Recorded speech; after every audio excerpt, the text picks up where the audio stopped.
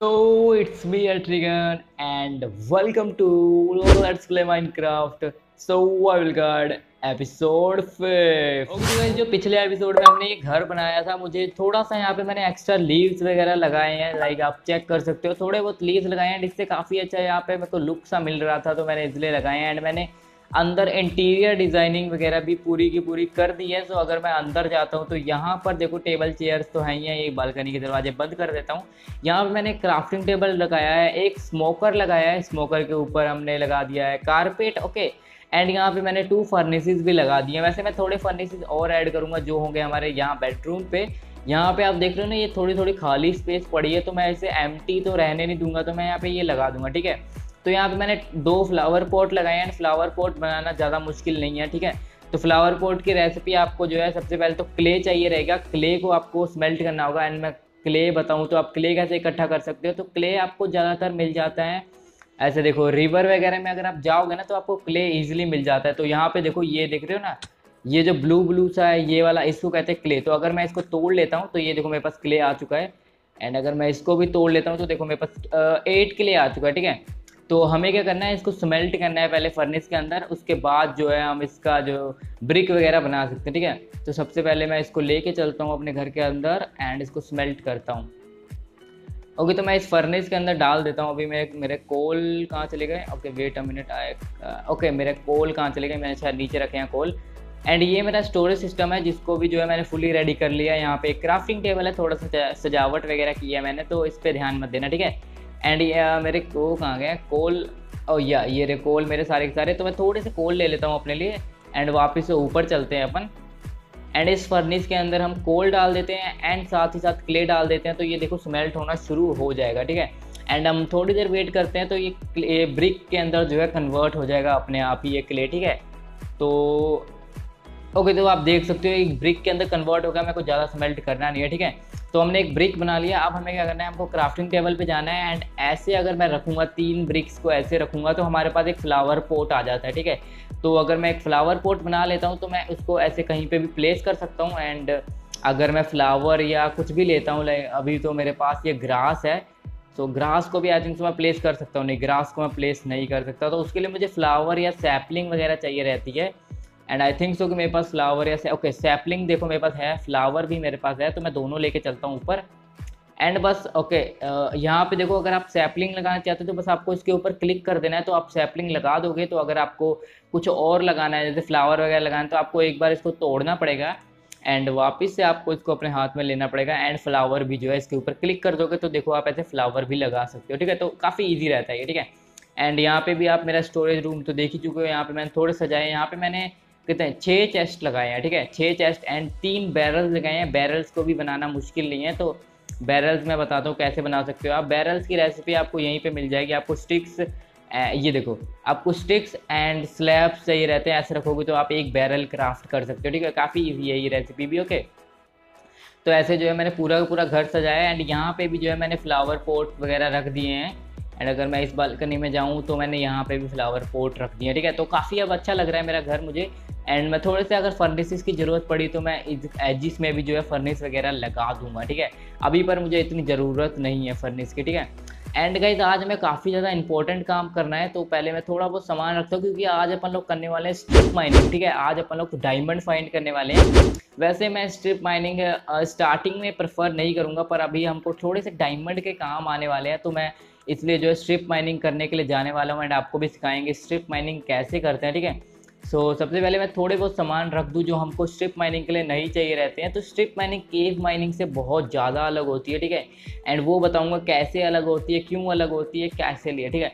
वो सब भी हम बात करेंगे उसके बारे में भी। तो सबसे पहले हम थोड़े से अपने लिए कबल स्टोन रख लेते हैं एंड थोड़े से वुड है ठीक है? तो थोड़े से वुड एंड थोड़े से कबल स्टोन हमारे पास हैं जैसे पिछली बार तरह हमने लिए थे।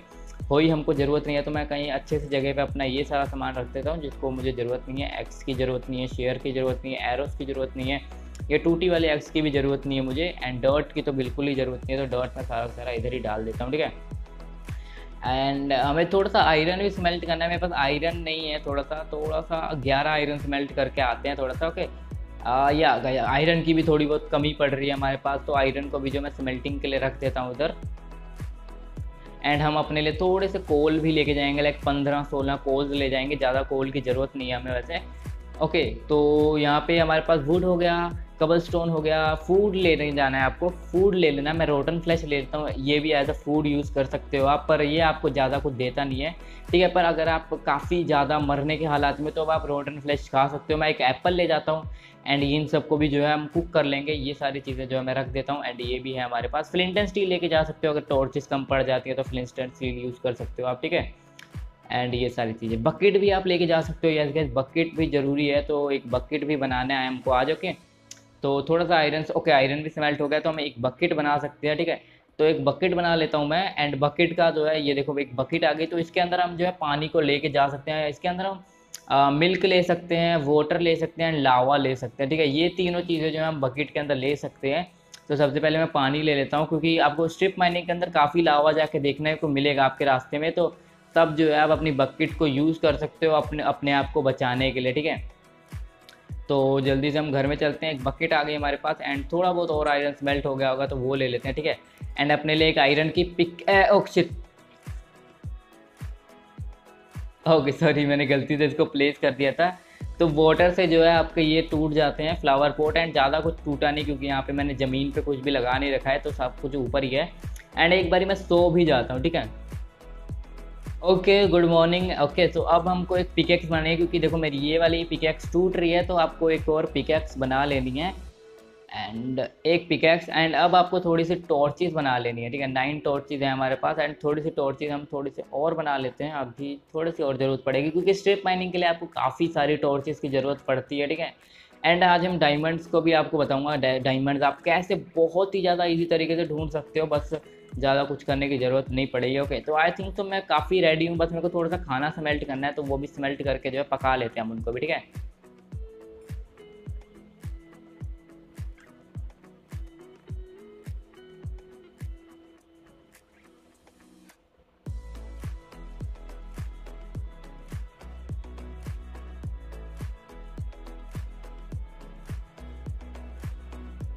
ओके तो वैसे मेरे पास सब कुछ हो चुका है सेवन आयरन भी ले लिया मैंने, थोड़े से कवर स्टोन वगैरह, सब कुछ आ गया पिकैक्स वगैरह भी ले लिया, ठीक है? सो आई थिंक सो मैं फुल्ली प्रिपेयर हूँ, बस थोड़ा सा आप अपने लिए फ़ूड वगैरह ले लेना है बाकी कुछ ज़रूरत होती नहीं है तो अब आपको अपने घर से थोड़ा सा दूर जाना है, क्योंकि स्ट्रिप माइनिंग थोड़ा सा दूर की जाती है अपने घर से केव माइनिंग तो आपको जहाँ पे भी केव मिले, बस घुस जाओ उसके अंदर, पर स्ट्रिप माइनिंग में ऐसा नहीं होता तो आई थिंक सो मैं इतना दूर तो आ चुका हूँ तो मैं थोड़ा सा और दूर इधर आ जाता हूँ। एंड आई थिंक तो मैं इधर कर सकता हूँ ठीक है? सो so, मेरे को जो है स्ट्रिप माइनिंग इधर से करनी है। ओके तो आई थिंक तो मैं वन का ही करता हूँ। अभी टू का नहीं आपको वन वाइड करना है ठीक है? तो आपको बस नीचे स्टेयर्स बनाते हुए जाना है। सो so, आप अगर मेरे कोऑर्डिनेट्स देखें तो वहाँ पे आ रहा है सिक्सटी सेवन एंड अगर मैं इधर जाऊँ तो सिक्सटी सिक्स एंड अगर इधर नीचे जाऊँ तो यहाँ पे सिक्सटी फाइव ठीक है? तो आपको यहाँ पे जाना है वाई इलेवन पे ठीक है? तो अगर आप वाई इलेवन पर जाएँगे तो आपको क्या रहेगा? वाई ट्वेल्व का भी जो है एरिया एकदम अच्छे से दिखेगा एंड वाई टेन मतलब आपके नीचे एंड आपके ऊपर एंड आप जो मिडल में चल रहे हो, वो वाला एरिया भी आपको दिखेगा। तो ये तीन जो होते हैं कोऑर्डिनेट्स होते हैं, जो होते हैं ट्वेल्व, इलेवन एंड टेन, इन तीनों के अंदर जो है आपको मैक्सिमम डायमंड्स स्पॉन मिलते हैं, ठीक है? मैक्सिमम सबसे ज़्यादा यहीं पे मिलते हैं तो अगर आपको माइनिंग करनी है तो आप इन तीनों एरिया पे जो है माइन कर सकते हो। मेन आपको जाना है वाई इलेवन पे, ठीक है? तो जल्दी से वाई इलेवन पे चलते हैं। ओके तो जब तक ये टाइम लैप चलता है मैं आपको कुछ माइनिंग स्ट्रिप माइनिंग के बारे में बता देता हूँ क्यों स्ट्रिप माइनिंग इंपॉर्टेंट है या क्यों स्ट्रिप माइनिंग अच्छी है केव माइनिंग से ओके सो so, देखो स्ट्रिप माइनिंग में क्या रहता है आपको हर एक ब्लॉक खोदना पड़ता है पर केव माइनिंग में आपको क्या रहता है बस वहाँ पे घूमना होता है अगर कुछ मिल जाए तो वो ले लो। एंड अगर नहीं मिलता तो बस घूमते रहो, ठीक है? पर स्ट्रिप माइनिंग में ऐसा बिल्कुल नहीं होता। स्ट्रिप माइनिंग में आपको ईच एंड एवरी ब्लॉक को तोड़ना पड़ता है क्योंकि आप अंडरग्राउंड जाके जो है ये सब करते हो, ठीक है? तो इससे होता क्या है? आपको हर एक चीज़ मिलती है लाइक आपको पास बहुत सारा कवर स्टोन आ जाएगा ग्रेवल अगर रास्ते में ग्रेवल आता है तो आप ग्रेवल भी ले सकते हैं। इससे आपके पास रिसोर्सेज बढ़ते हैं, ठीक है? एंड फिर आपके पास लैपिस वगैरह डायमंड वगैरह तो ये आते ही रहेंगे। माइनिंग करोगे तो ये सब तो आता ही रहेगा, ठीक है? पर मेन चीज़ होती है कि यहाँ पर आपके पास जो है एक्स्ट्रा एक्स्ट्रा रिसोर्सेज आते रहते हैं।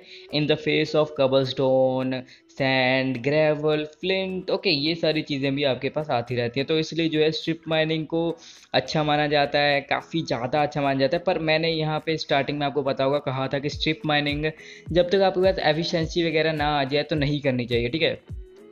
वो मैंने इसलिए कहा था क्योंकि आपको पता है आयरन पिकैस थोड़ा सा स्लो माइन करती है ओके एंड एफिशिएंसी काफ़ी तेज़ होती है क्योंकि आपको यहाँ पे हर एक ब्लॉक तोड़ना पड़ता है तो एफिशिएंसी इज़ बेस्ट तो इसलिए जस्ट मैंने कहा था और कुछ मेरा इसके पीछे रीज़न नहीं था, ठीक है? अब वैसे भी टाइम लैप्स खाता हो चुका है। ओके तो मैं इलेवन लेवल पे आ गया, मैं थोड़ा सा नीचे चला गया था क्योंकि मैं देख नहीं रहा था मैं कौन से कोऑर्डिनेट पे आया हूँ। तो देखो, मैं इलेवन पे आ गया हूँ तो अब आपको करना है, आपको सीधा खोदना है। यहाँ से जो है, पहले तो आपको जहाँ पे ये सीढ़ी है, यहाँ से एक एक ब्लॉक और इधर खोद लेना है, ठीक है?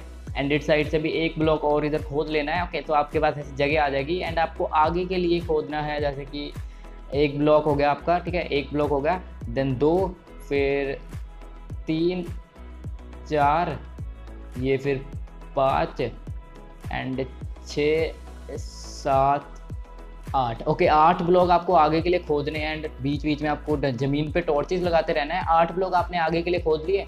सो आपको जो है, अब यहाँ से भी जो है, आठ ब्लॉक यहाँ से भी सीधा मतलब कि पूरा मतलब खोद लेनी है जगह, ठीक है? ओके तो जब आपको एक हाइट ऊपर से भी जो है, इसको खोद लेना है, जैसे कि मैं देख रहा हूँ। मतलब जैसे आप देख रहे हो यहाँ पे ऊपर से भी आपको ऐसे खोद लेना है, जिससे आपके पास एक रूम आ जाए, थोड़ा सा लंबा सा रूम होके। तो यहाँ से भी आप जो खोद लो इसको ऊपर से। बस हो गया, ये खुद गया ऊपर से पूरा का पूरा। टाइम लैप्स करने की ज़रूरत नहीं पड़नी मुझे। ओके तो ये भी जस्ट हो गया वेट अ मिनट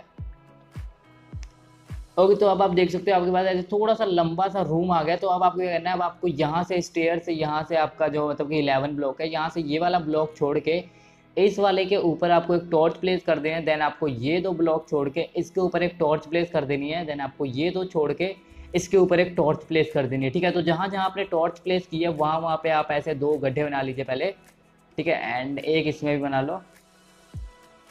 एंड एक इसमें बना लो, ठीक है?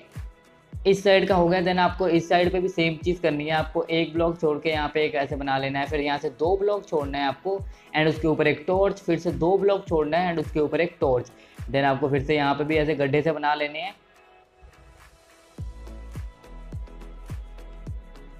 ओके तो आप देख सकते हो आपके पास ऐसे सिक्स माइंस आ जाएँगी। तो अब आपको क्या करना है? आपको बस यहाँ पे सीधा खोदते रहना है ठीक है? लाइक बस आपको यहाँ से सीधा खोदते जाना है खोदते जाना है खोदते जाना है खोदते जाना है ठीक है? तो इसको कहते हैं स्ट्रिप माइनिंग यहाँ से क्या रहेगा? आपको ट्वेल्व लेवल का भी व्यू मिलेगा एंड टेन लेवल का भी व्यू मिलेगा एंड इलेवन लेवल का व्यू तो आप ले ही रहे हो ठीक है? एंड आपको खोते खोदते टॉर्चेज भी लगाते रहना है जिससे आपको आ, मतलब व्यू मिलता रहे आपको जो है यहाँ पे अंधेरा ना हो ठीक है? एंड आपको बस ऐसे स्ट्रिप करते रहना है, करते रहना है, करते रहना है, जिससे आपको यहाँ पे आसपास डायमंड्स वगैरह आप इजीली मिल जाते हैं, ठीक है? Strip mining is best thing cave mining जैसा मैंने बताया कि इसमें डायमंड्स नहीं मिल पाते हैं अच्छे से, अगर आपने सुना होगा पहले टाइम लैप्स मैंने बोला था ओके तो बस आपको ऐसे ही सीधा सीधा खोदते रहना है, ठीक है? जब तक आपको डायमंड्स ना मिल जाए, ठीक है? एंड एक पॉइंट पे आके जो है आपको लगेगा चलो यहाँ पे डायमंड्स नहीं है तो आपको क्या करना है, इससे बाहर आ जाना है। एंड इस वाले केव में घुस के जो है खोदते रहना है, ठीक है? तो यहाँ से आपको इस वाले दो को नहीं खोदना है, आपको ये दो ब्लॉक छोड़ के हमेशा खोदना है, ठीक है? सो अगर आपको लगता है कि इस वाले में नहीं मिलेगा तो आप इस वाले में खोद लो। अगर आपको लगता है इसमें भी नहीं मिलेगा तो आप इस वाले में खोद लो। एंड अगर आपको इसमें लगता है तो आप इधर इधर भी खोद सकते हो। तो यहाँ पे आपने छः बना दिए तो आपको ये छः के छः पूरे के पूरे खोदने हैं, ठीक है? एंड अगर आपको, अगर आपने सभी के सभी खोद लिए हैं तो आप इस रूम को एक और बड़ा कर लो, ठीक है? आप इस रूम को और बड़ा कर लो एंड थोड़े से माइंड अपने लिए और निकाल। लो तो यहाँ से मैं इसको दो नहीं तीन और बड़ा कर दूँगा तो मेरे पास एक और माइंस आ जाएँगी। तो अगर मैं इसे तीन और बड़ा कर दूँ वेट मिनट बस हो गया ये। ओके okay, तो अब आपको यहाँ से भी दो ब्लॉक छोड़ के एक टॉर्च लगा देना है। इधर से भी दो ब्लॉक छोड़ के एक टॉर्च लगा देना है। एंड यहाँ पे आपके पास दो और माइंस आ गई हैं ठीक है? तो अब आप इजीली जो है उसको खोल सकते हो। तो जो मैंने वाटर बकेट मंगाई थी, वो इसलिए मंगाई थी कि बीच बीच में जब भी आप यहाँ से जाते हो तो आपके फ्लोर के नीचे लावा आते हैं, क्योंकि टेन एंड इलेवन लेवल पे आपको लावा भी मिलता है, ठीक है? तो अगर आपको लावा मिलता है तो बस आपको वाटर बकेट जो है कहीं पे भी सोर्स पे डाल देना एंड वहाँ पे जो है आपका सारा का सारा लावा जो है ऑप्सीडियन में कन्वर्ट हो जाएगा, ठीक है? तो आपको ऐसे करना है। तो यहाँ पे आपके पास अब आ जाती हैं कितने? Six and seven eight mines आ चुकी हैं। तो अब आप ईजिली जो है इधर इधर स्ट्रिप कर सकते हो ईजिली लाइक बस आपको सीधा सीधा तो खोदना है, ठीक है? तो अगर मैं इस माइंड में जाता हूँ एंड अगर खोदते हैं तो लेट्स सी कि हमको कब तक डायमंड्स मिलते हैं, ठीक है? ओके okay, तो अगर आपको जानना है कि मुझे आज के एपिसोड में स्ट्रिप माइनिंग से कितने डायमंड मिले हैं तो जल्दी से जाओ चैनल को सब्सक्राइब करो एंड साथ वाले बेल को ऑल पे कर लो क्योंकि इसके बारे में मैं आपको अगले एपिसोड में बताने वाला हूँ ठीक है? तो जल्दी से जाओ सब्सक्राइब करो एंड बेल को ऑल पे सेट कर दो जिससे आपको मेरे डेली वीडियोज़ की डेली नोटिफिकेशन मिलती रहेंगी, ठीक है? Okay so I hope guys आपको ये एपिसोड पसंद आया होगा। अगर आपको एपिसोड थोड़ा सा भी हेल्पफुल लगा या थोड़ा सा भी इंजॉयमेंट टाइप का लगा so please make sure to subscribe and मैं मिलता हूँ आपको किसी और दिन, किसी और वीडियो के साथ। तब तक के लिए पीस आउट